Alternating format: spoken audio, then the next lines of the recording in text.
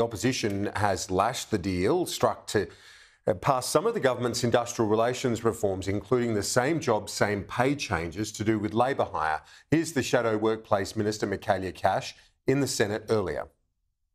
So, congratulations, big clap, everybody, to the ACTU and the Australian Union Movement, because once again, once again, you get one of your long lists of demands, and I have to say it was a very impressive list of demands, nine years in the making, in fact, nine years in the making, 18 months in the delivery. I mean, good grief, you give those across the chamber credit. If you want to deliver for the unions, use your numbers and deliver for them.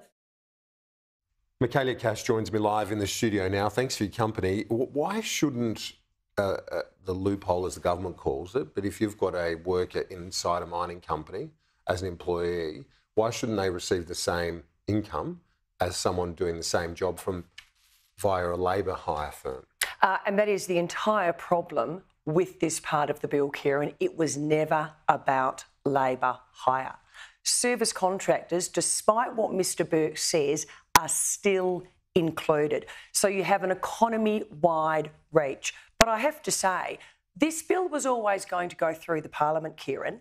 All we had wanted as the coalition and business groups was the opportunity to properly scrutinise it, to understand the actual impacts on the business community. Because as we know, it's employers who create jobs in Australia, not the government. The government just puts in place a framework.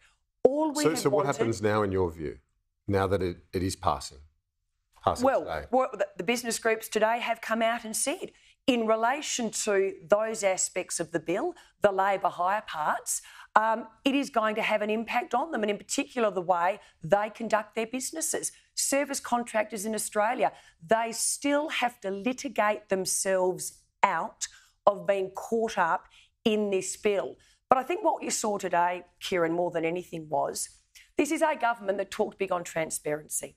Well, where was the transparency today?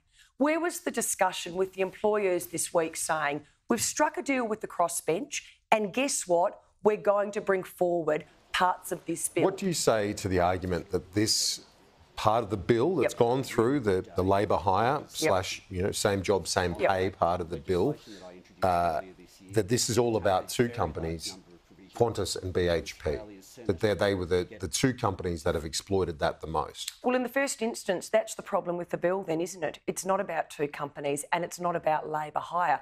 That is the entire issue that employers across Australia have had with this bill the unintended consequences, or should I say, in Mr Burke's case, the intended consequences.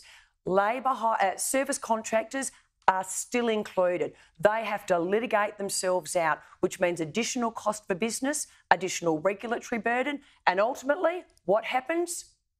They pass the costs on to the consumer. But as I said, what this reflects is a breach of trust with the Australian Senate, a breach of trust with employers. I accept the bill was always going to go through. But what I don't accept is a government that talked big about transparency just rushes the bill through on the last day of sitting with no debate.